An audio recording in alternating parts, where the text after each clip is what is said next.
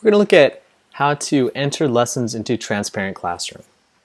So first off, you come to the Classroom activity page. You can just type a child's name after the at, at symbol or a lesson after the hash symbol and then hit enter and that's your first lesson right there.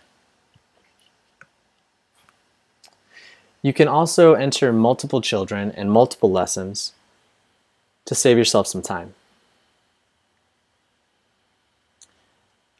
This control is quite advanced and it does a few other things. Um, you can go ahead and enter a lesson and you can actually um, set the date to something in the past. Maybe you're entering a lesson that you uh, saw last week.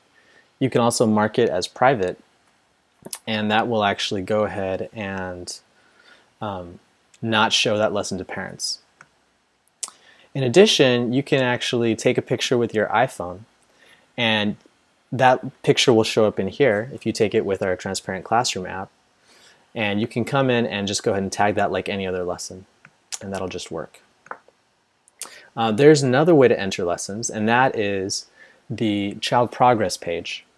You can come over here and see all the children and all the lessons, and you can start to see patterns. You can see um, Sophia, for example, uh, maybe uh, actually mastered the pink tower, the brown stairs, and maybe needs more work on units of measure in brown stairs.